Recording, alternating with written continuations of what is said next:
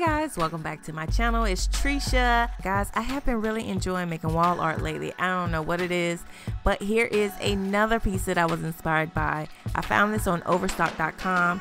I want to make something similar. It's going to be a tad bit different, but similar.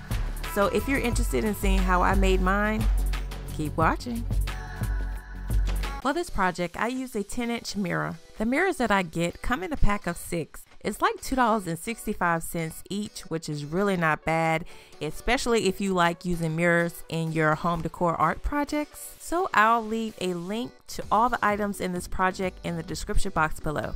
I placed the mirror on top of a piece of foam board and traced around it.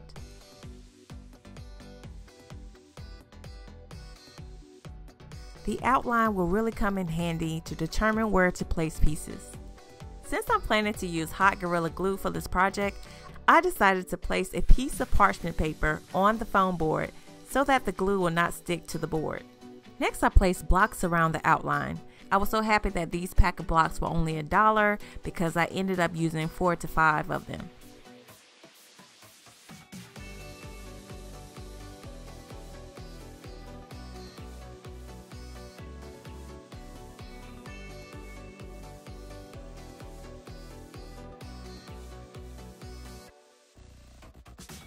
Afterwards, I moved the blocks towards the inside part of the line.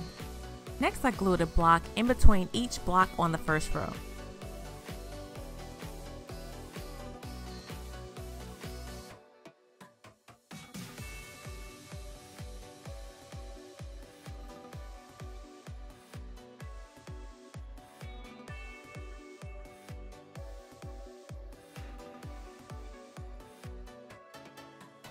Once I finished that row, I did the same process.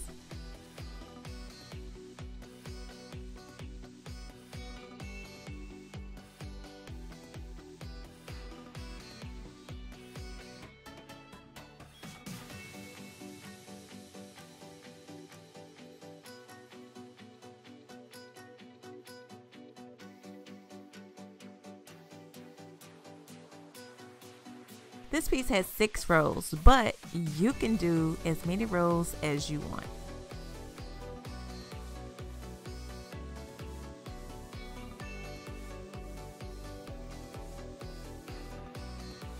After a while, I noticed that some of the blocks were not straight. I could have made it a little bit straighter, um, but I think I was working a little bit too fast. So if you do decide to do this project, just make sure you take your time and make the blocks as straight as possible.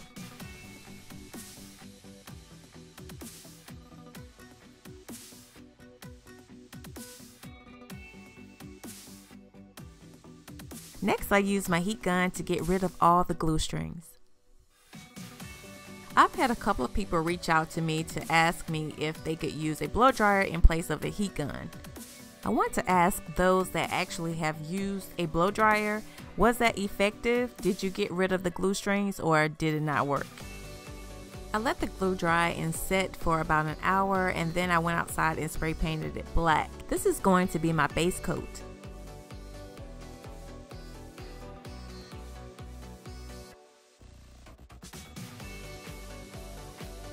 After that dried, I spray painted both sides chrome.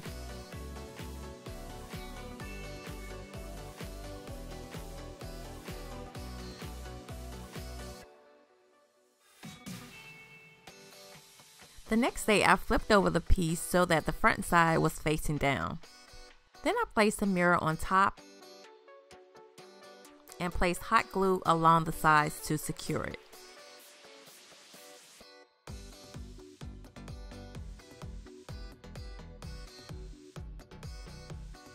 That's it.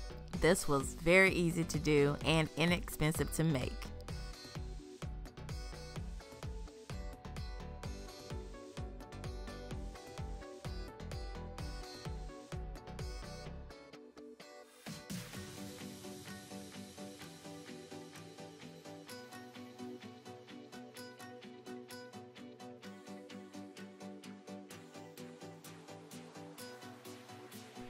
Thanks guys for watching. Have a great week.